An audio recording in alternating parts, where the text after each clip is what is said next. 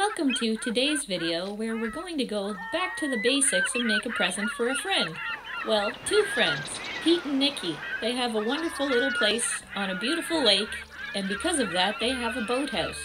And that boathouse has a motif, so we're going to be trying to add to that today.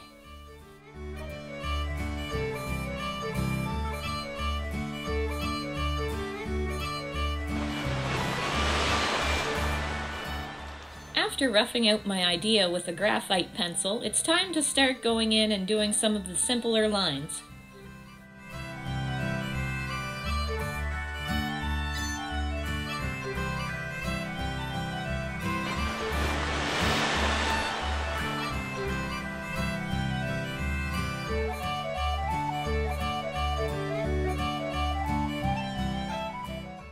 When I wood burn, I like to use a mini flow point. It's the smallest one I have, and I kind of approach wood burning almost like a 2D sculpture.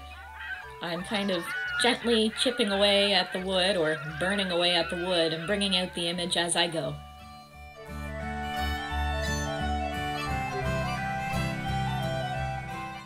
One thing about pyrography, as you're doing it, you're going to have a bit of carbon buildup on the end of your wood burning tool. So that's why you'll notice I have a T-ball. And I use that to gently tap off the uh, residue that's on my wood burning tool. So you'll notice me doing that from time to time.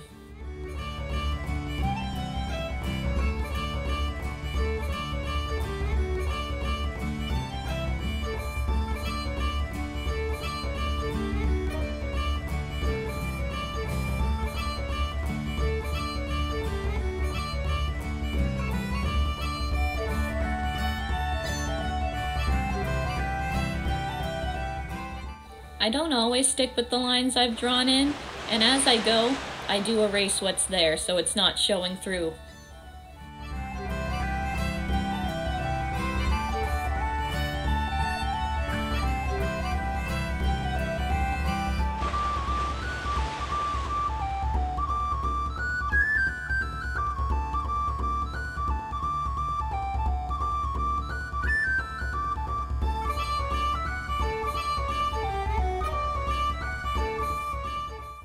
Clearly the rope was the most tedious part. I created it using a series of S shapes and I went with the direction that the rope is going to create those little fibers to make it look like a rope.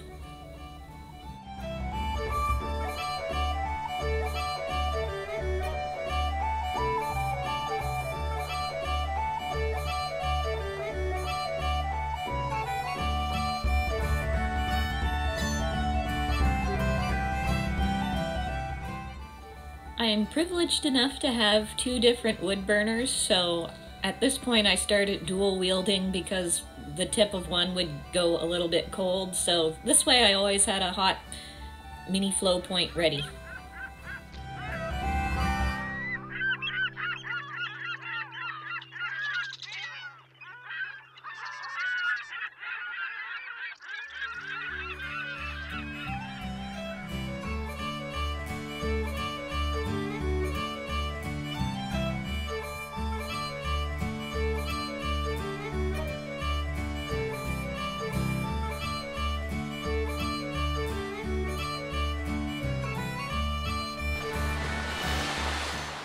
And to finish it off, I'm going to use a watercolored pencil, like I've done in the past with other wood burning projects. And then I'm going to use rubbing alcohol and a watercolor paintbrush to turn it into a bit of a stain. And I'm using rubbing alcohol so it doesn't cause the grain of the wood to raise like water would, and rubbing alcohol is also going to dry a lot quicker.